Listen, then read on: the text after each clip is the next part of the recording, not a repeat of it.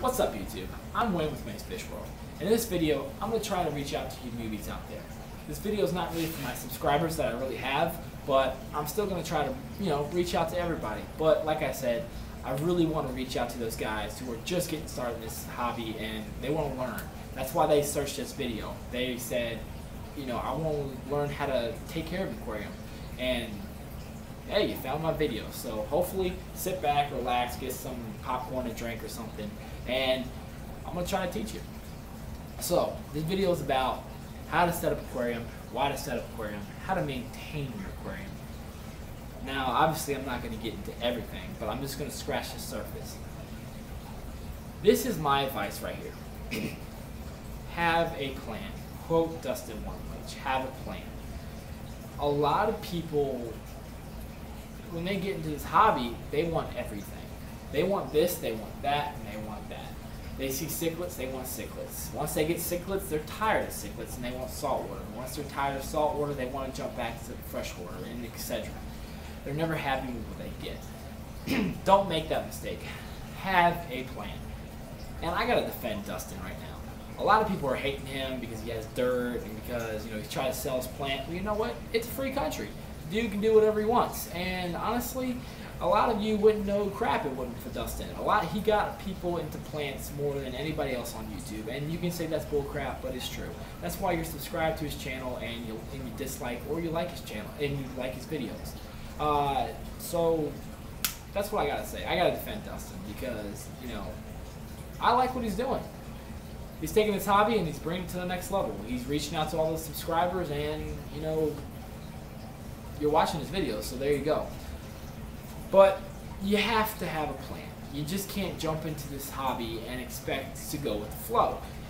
If you do that, you're more likely going to hit a brick wall and your tank's going to crash. And I'm guilty of that. And, you know, a lot of my subscribers that hate me, who still watch my videos because they hate me, um, they're guilty of that too. They just won't show that on camera. So don't let that discard you.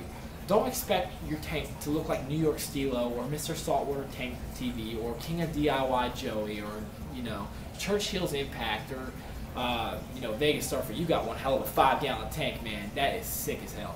So don't expect them to look like that. It takes time. These people have been in the hobby a while. They've learned from their mistakes. They're going to, they've made mistakes. They're just not going to show it on camera. Now, some of them will, but they're not going to show it on camera as much. And that's one thing I like about my channel. I show my mistakes. A lot of people, you know, hate and dislike my videos because, oh yeah, my dirt erupted, you know, blackbeard algae, but you know what? You know, in saltwater, cyano, hair algae, um, diatoms, these things are natural. It's how a system establishes itself. They have to go through these stages. Um, now look at my tank. I've got no blackbeard algae. The dirt's fine. Everything's good. But your tank has to go through stages. So don't let that discard you guys. Your tank is not gonna, you know, be amazing from the get-go. You have to learn. It's trial and error. It's a learning process. So my advice, go to Live Aquarium. I'll post a link right here in the video and in the description. That way you don't miss it. Go to Live Aquarium. Look at all the fish they have. Freshwater, saltwater. Look at the invertebrates, the corals, everything. Now that's another thing. If you want saltwater and you don't give a crap about freshwater, don't let that discard you. Don't go to freshwater if you don't want it.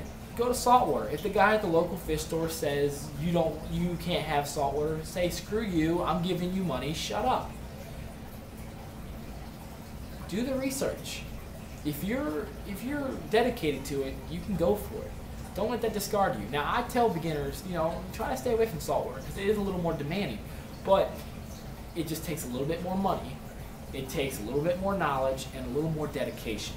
But if you are dedicated to it, you can achieve it. So go with what you like. Look at everything, all the possibilities.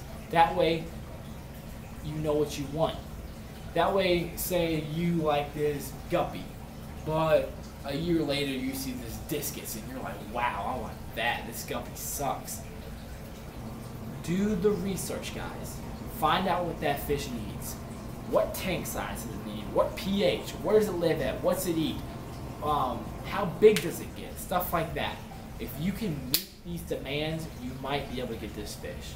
But like I said, find the easy, hardy to take care of fish.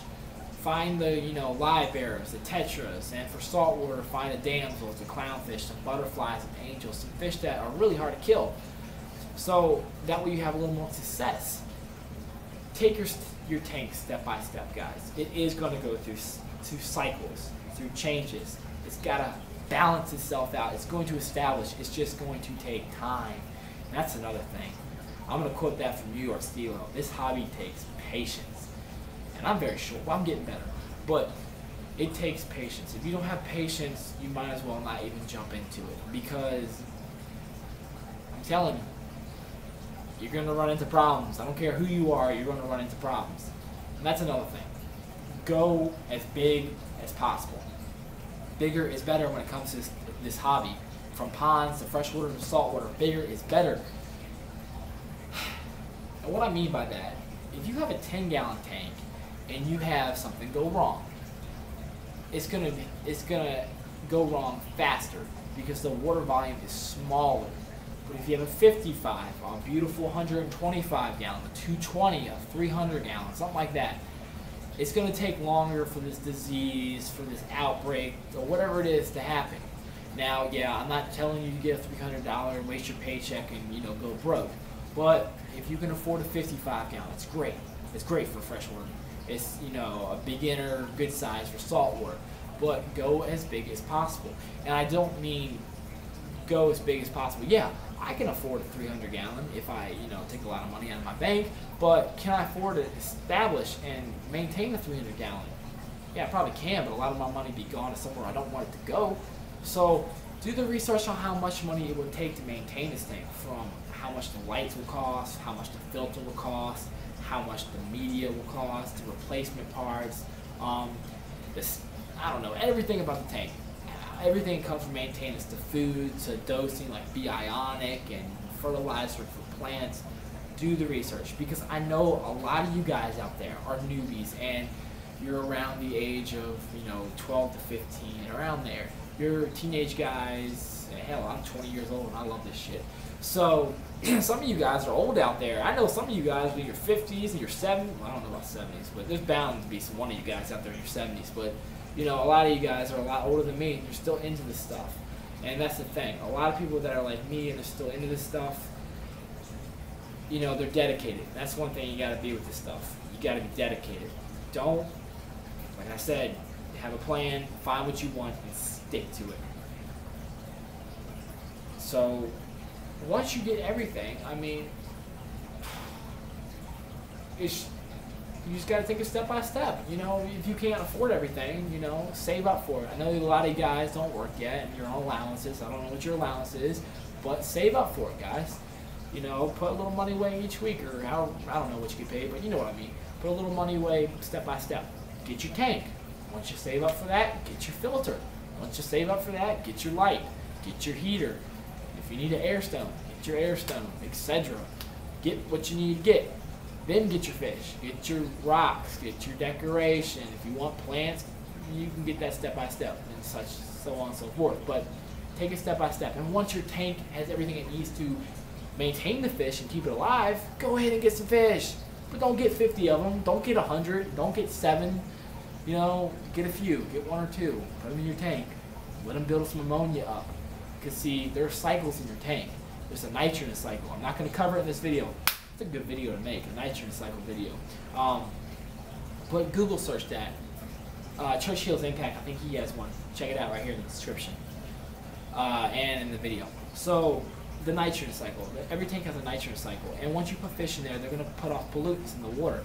Bacteria have to establish and grow to break down these pollutants in less toxin forms. So basically, the toxin goes from ammonia, nitrite, nitrate. And nitrate can get into a nitrogen gas form, but that's too complicated, and I'm not going to go into that right now.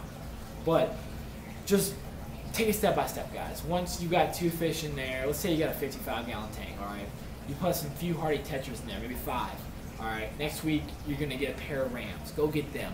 All right, you want some cory catfish? Go get three cory catfish. A couple days later or a week later, get three more cory catfish. All right, say your last fish you want in the tank are a breeding pair of angels. Get your two breeding pair of angels at once. Boom, it's done. take it step by step, guys. Patience. Patience, have a plan, and just, that's my thing. New York Stilo says patience. Dustin says have a plan. I'm going to say dedication. That's what it takes. Patience, have a plan, dedication, and a little bit of money. But, you know. So, after that, guys, you're pretty much set. So, just do the research. That's all I can tell you. Do the research. Take it step by step. And have patience.